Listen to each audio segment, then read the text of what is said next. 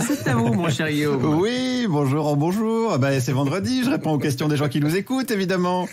Alors, je vais déjà euh, répondre à la question que la France presque entière se pose depuis hier soir, puisque je vous rappelle que j'ai diffusé la demande en mariage de Laura à David. Ah oui. Ah, bah oui, eh bien, il a dit, il a dit oui. Ah, félicitations. Il est tombé dans le piège, le con. Oh là là là là.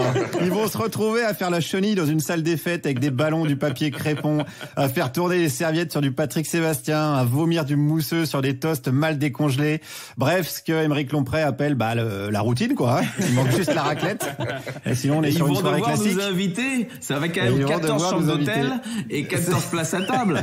C'est Ouais, pas ouais, ouais, je sais je sais pas s'ils se rendent compte de ce qu'ils ont engendré, mais enfin bon, qu'ils soient heureux en tout cas, ils vont être heureux, Laura et David, c'est chouette. Euh, Peut-être même qu'ils vont faire des enfants, comme Nora qui a 9 mois et avec qui je commence cette séance de questions. On écoute la question de Nora.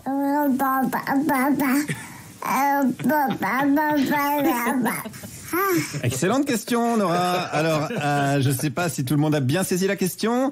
Nora demandait s'il serait pas temps de pendre les grands patrons avec les tripes des actionnaires.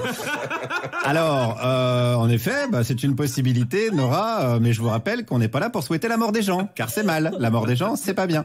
Après, si Jeff Bezos veut aller passer ses vacances à Tchernobyl, bon, bah, on sera content quand même. Je veux dire, chacun est libre.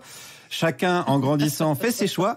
Euh, c'est le cas de Valentine de Clermont-Ferrand que vous connaissez maintenant. Elle m'avait posé des questions déjà la semaine dernière, Valentine. Et là, aujourd'hui, elle a encore une autre question. Salut Guillaume, Valentine de Clermont-Ferrand. Là, je viens de sortir, j'ai pas fait mon attestation parce que je sais pas écrire.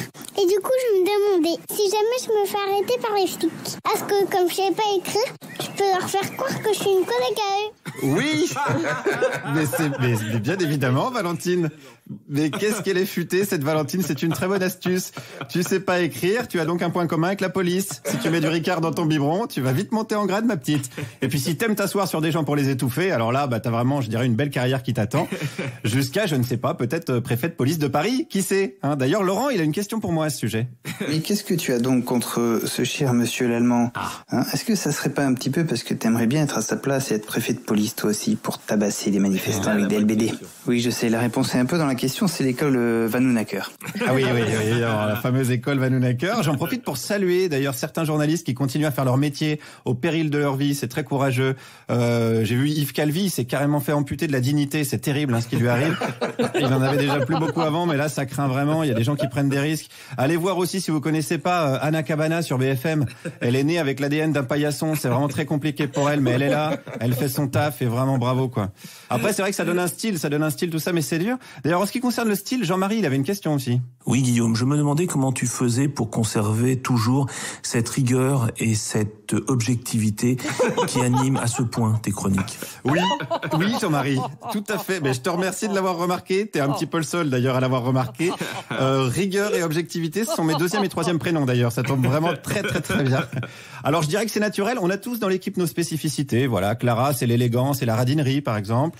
Euh, André Manoukian, c'est la sexualité débridée et refaire à l'infini des chroniques qu'il a déjà faites dans cette émission en pensant qu'on va pas s'en rendre compte. Chacun a vraiment son, son créneau, un style différent. C'est ça qui, qui est bien.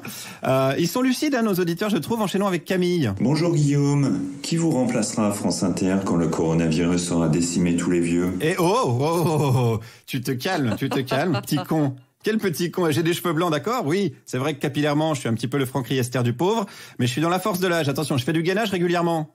Bon, régulièrement, c'est tous les trois mois, mais ça reste régulier comme pratique. Donc fais gaffe si je te chope à la sortie du confinement. D'ailleurs, Bruno, il avait une question confinement, on écoute Il y a une théorie qui dit que le confinement a été mis en place pour que tous les Français vivent durant plusieurs semaines la vie de Manuel Valls. Je voulais avoir ton avis sur cette théorie. Eh ben tout à fait. J'ai déjà entendu cette théorie, tout à fait. Euh, vivre comme un paria, se faire insulter dès qu'on sort dans la rue, c'est la vie que Manuel Valls a choisi de mener. Même euh, si vous l'avez entendu, il ferme pas définitivement la porte à un retour au gouvernement. Il a dit non pour l'instant. Il me fait penser à Alex quand il se fait draguer par une jeune. Il dit non pour l'instant. Et quand tu seras à la maison de retraite des Mimosas, ben on en reparle. Allez, on termine avec Marie. Guillaume, j'avais une question pour toi. Le confinement, c'est chouette. Ça te permet de recevoir des témoignages depuis ton canapé.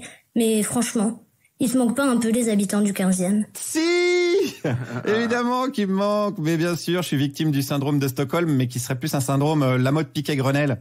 Rendez-moi mes électeurs Pécresse, rendez-moi les autres aussi, rendez-moi tout le monde. que je puisse leur dire les mots bleus, les mots que je dis avec mes questions à la mort moelle Guillaume Meurice, merci.